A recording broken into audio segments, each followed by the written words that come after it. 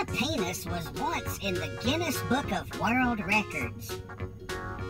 But then the librarian told me to take it out.